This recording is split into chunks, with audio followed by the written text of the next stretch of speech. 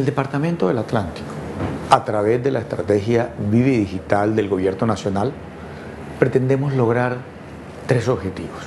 El primero, cerrar el círculo y lograr lo que se denomina redundancia.